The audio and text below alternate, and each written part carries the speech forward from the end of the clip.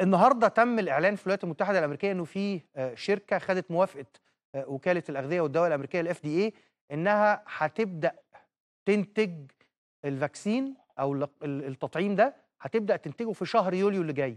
هل دي تصورات واقعية فعلًا يا فندم؟